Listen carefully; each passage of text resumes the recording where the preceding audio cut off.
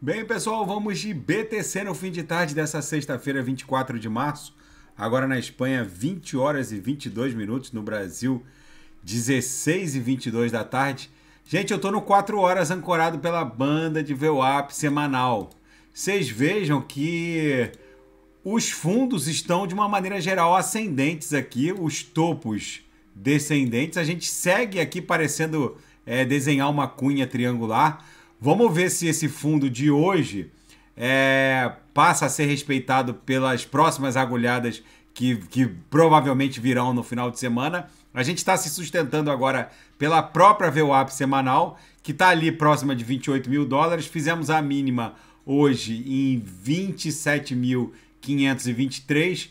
Vamos ver se aqui se o final de semana fica emprestando vigência a essa cunha triangular que parece que está se desenhando aqui no 4 horas, para depois retomar a pernada impulsiva. No final de semana, normalmente o volume é, é mais baixo, mas é possível também que ocorra um movimento mais um, um, um, movimento com maior musculatura no próprio final de semana. Não é incomum no mundo cripto isso. Normalmente o volume baixa um pouco. No diário, por incrível que pareça, apesar desse marasmo do mercado, a gente não engolfou, promovemos um corpo real com a, com a, a aresta superior protuberante em relação ao corpo real do candle de ontem e a gente reverteu aquele engolfamento do, do candle do dia 21 de março, ou seja, segue o ímpeto comprador aqui em direção a 30 mil dólares. As três linhas do canal de Keltner seguem agressivamente apontadas para cima. Na projeção, a nebulosidade esverdeada segue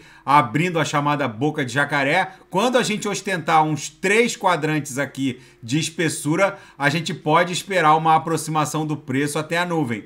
Enquanto isso não acontecer, o ímpeto comprador vai continuar vigente. No intraday, a BTC tá um, um, um, reloginho, por assim dizer.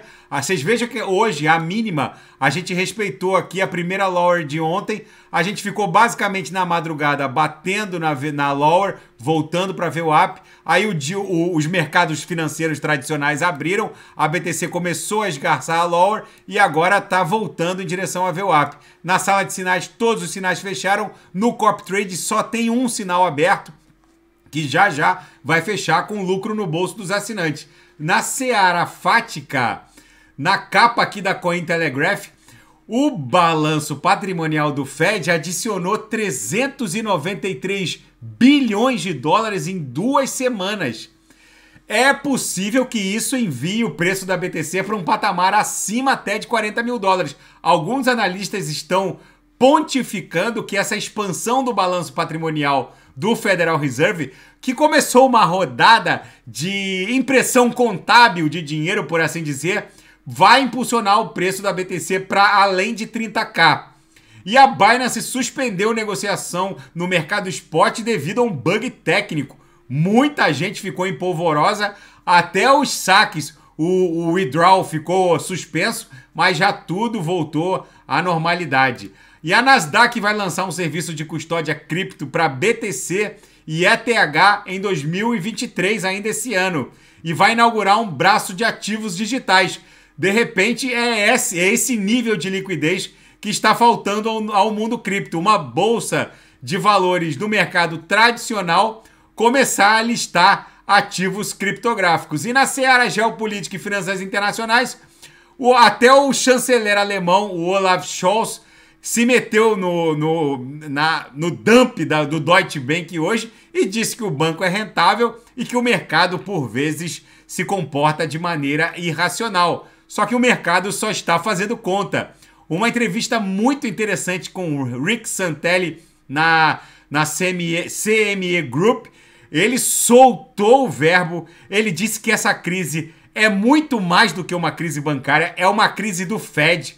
E que, na verdade, essa crise foi construída sobre uma crise que nunca foi resolvida, que é o tamanho do balanço patrimonial do Federal Reserve. Segundo o Rick Santelli, o que a gente está presenciando é o começo de uma crise sem precedentes. Segundo ele, é, a quantidade de trilhões de dólares em treasuries, em títulos norte-americanos, rodando pela Europa com taxa real negativada é tamanha que se o Fed continuar aumentando as taxas de juros e a Europa indo na esteira, é muito provável que tudo isso vire pó, porque tem muito título de longo prazo, ou seja, que vai prender a grana do sujeito por mais de uma década, pagando uma taxa real negativada de, é, num montante tal que vai pulverizar o, o, o valor do título diante da nova taxa básica de juros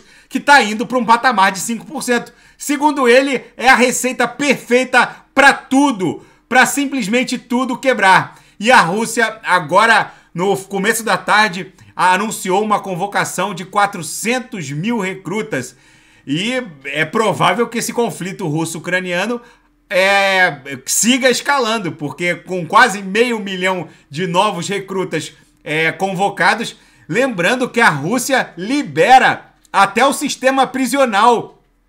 Em troca da remissão da pena para poder entrar no fronte da, de, da, da, guerra contra a Ucrânia. Ou seja, tudo isso é bizarro o que está acontecendo na Europa em pleno ano de 2023, mas o fato é que a BTC segue resiliente. Aqui no 5 minutos a gente agora está voltando forte para o patamar da VWAP no intraday, que está lá em 28.040, 28.050, para ali acumular e se decidir para uma nova pernada, provavelmente impulsiva. A gente vai ficar o final de semana dando vigência a essa cunha triangular aqui no 4 horas.